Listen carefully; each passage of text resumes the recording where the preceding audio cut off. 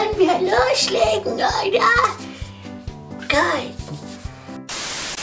Hallo und herzlich willkommen zurück auf meinem Kanal. Schön, dass ihr mit dabei seid. Heute ist ja wieder Fun Day Sunday und heute ist wirklich Sunday, weil bei uns hier gerade in München scheint die Sonne und zwar richtig schön. Also man sieht es vielleicht hier am Fensterspiegel. Da guckst du.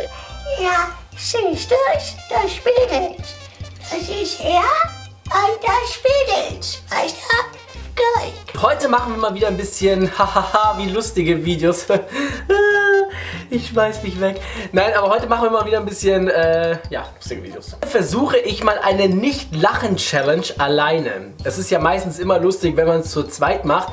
Da aber aktuell Quarantänezeit für jeden ansteht, ist es mir unmöglich, das irgendwie zu machen. Ich habe das schon probiert mit Freunden via FaceTime. Ähm, ist aber nicht irgendwie so cool. Auch die Bildübertragungsqualität ist nicht gerade die beste. Deshalb dachte ich mir, mache ich es mir halt mal allein. Die Videos.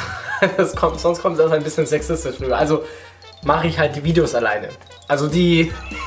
Ach egal, wir fangen an. Fun is Sunday, wir starten.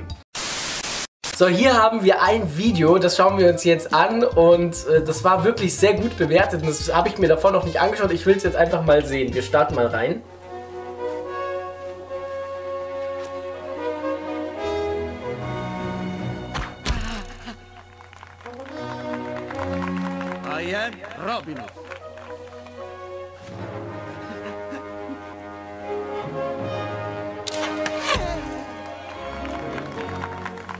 I Ihr am seid schon lachen. Hotel Motel.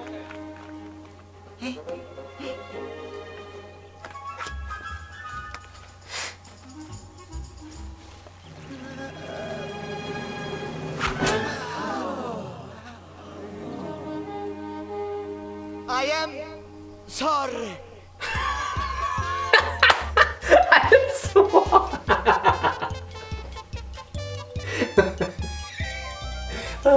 Okay, sowas, sowas ist ja schon wieder so mein Humor.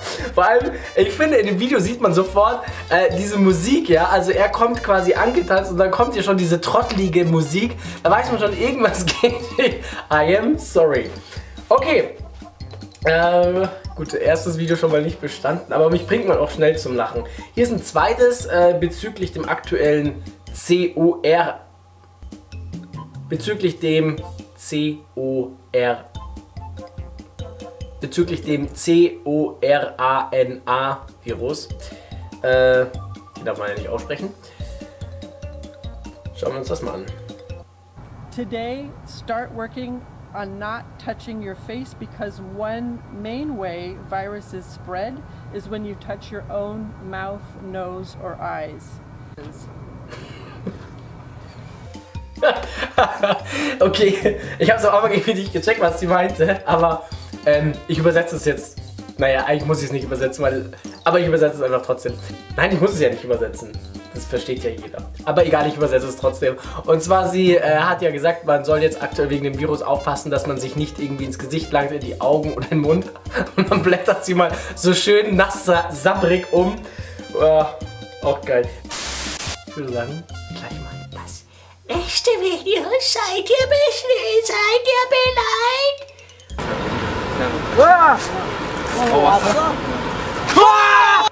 Really, nigga? Oha, das ist echt. Das ist echt rassistisch, Mann. Vor allem, boah, das ist. äh, Wenn es nicht gespielt ist, wenn es jetzt nicht gespielt war, dieses Video, dann ist es echt mies, Mann. Sowas. Nee, das ist nicht lustig. Mal gucken, ob ich das genauso kann wie die Robben. Nein, sie. Sie steckt sich jetzt ernsthaft diesen Fisch. Okay.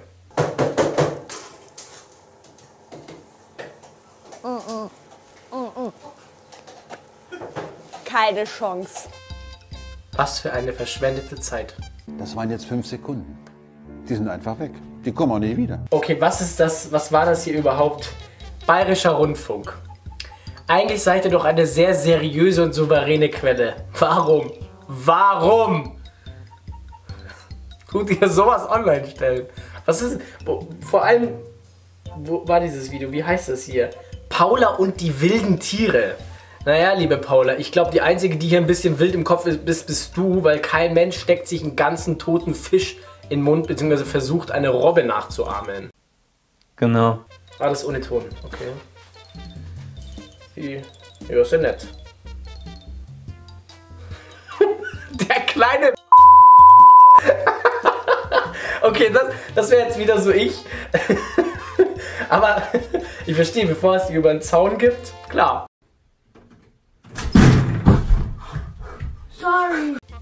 Naja, wer nicht hören will, muss fühlen. Wahrscheinlich hat die Mutter von ihr schon die ganze Zeit gesagt, Shania, ich hab's dir schon tausendmal gesagt, du dein Baby ist nicht hier um die Kamera. Und dann macht sie es trotzdem. Tja, Pech, Shania. Wieder ohne Ton. Was ist das? Ein, achso, ein Rettungsring. Nein, der. Okay, dadurch, dass im Hintergrund ein Schiff war oder ist, ist es glaube ich nicht so schlimm.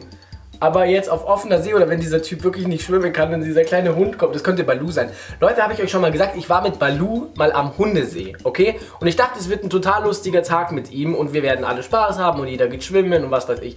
Erstens, in dieser Grütze will keiner schwimmen, weil wo ungefähr 500 Hunde schwimmen, willst du nicht rein. Das Wasser riecht so, wie es aussieht. Es schmeckt auch so, wie es riecht.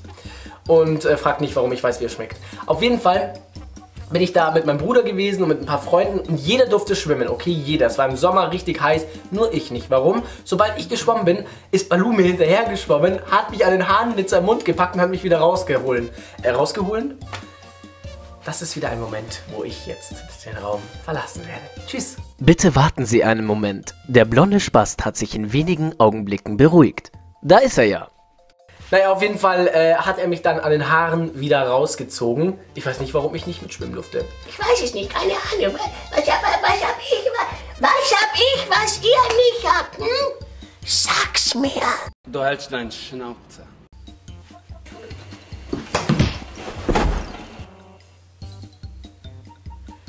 Leute, ich bin jetzt nicht geschockt, weil dieser Mann nicht diese geistige Reife im Kopf hat, um zu wissen, dass wenn man ungefähr einen halben Meter von einer Wand wegsteht und gegen diese Wand einen Tennisball feuert, dass man auch damit rechnen muss, dass dieser zurückkommt.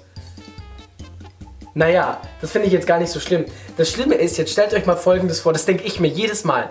Stellt euch mal vor, irgendwas passiert. Ja, keine Ahnung, du hast den davor besucht. Du warst davor bei diesem Mann in der Wohnung. Ihr habt euch gestritten. Die Nachbarn haben es gehört. So, dann sagt er, mein Gott, ich bin so sauer hier, ich muss jetzt meine Wut auf Wand rauslassen, weil ich kann gerade nicht mehr, weil mich das so aufregt hier. Und deswegen muss ich jetzt hier um der Wand meine ganze Wut rauslassen hier. Und dann nimmt er diesen Tennisschläger und haut er diesen Ball gegen die Wand und der Ball haut ihn gegen den Kopf. So, wer weiß, ob der ihn an der Schläfe getroffen hat oder sonst irgendwas. Und dann ist der Typ tot. Stellt euch mal vor. Und ihr wart davor drinnen, habt ihr mit ihm gestritten. Die Nachbarn haben es gehört, könnt ihr ja bei der Polizei bezeugen. Und wer ist dann am Arsch? Ihr oder ich. Und das ist immer das Schlimme, weil ganz ehrlich, die Kriminalpolizei würde sagen, gut, du hast ihn halt mit dem Schläger umgebracht oder den Ball ins Gesicht geworfen, hast ihm dann den Schläger in die Hand getan und wolltest, keine Ahnung, Selbstmord oder so, äh, Genau. auch wieder ohne Ton. Okay, die. Ähm.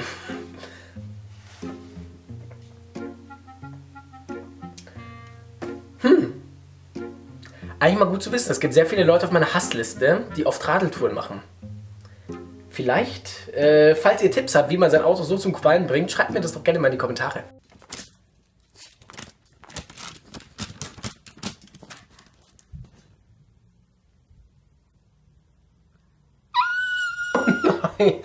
Oh nein. Erst, erstmal schaut der mega süß aus und zweitens, warum sperrt man seinen Hund eigentlich in eine Box? Das könnt ihr mir auch gerne in die Kommentare schreiben. Warum? Also, ich würde Balu nie in eine Box sperren.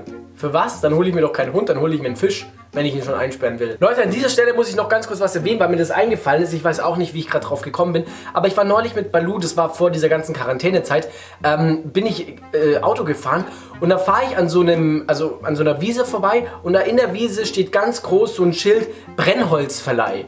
Und ich bin weitergefahren und irgendwann dachte ich mir, Moment, Brennholzverleih? Das ergibt doch gar keinen Sinn. Also wie darf ich mir das vorstellen? Ich gehe dahin und sage, ja, ich hätte gern Scheitel Holz. Und dann wird er sagen, naja, dann nimmst du dir den Holzscheitel, ne, Jung. Und dann nimmst du ihn dir und was, was ist dann? Dann bringe ich ihm die Asche zurück und sag vielen Dank oder wie?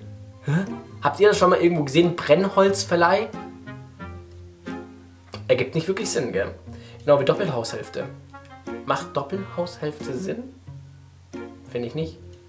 Oder eingefleischter Vegetarier. Oder Hassliebe. Es gibt ganz viele paradoxe Wörter, die ich einfach nicht verstehe und nie verstehen werde. Wahlpflichtfach. Was habe ich mich gefreut, als ich mich zum Abitur angemeldet habe und es hieß Wahlpflichtfach. Natürlich habe ich keins genommen.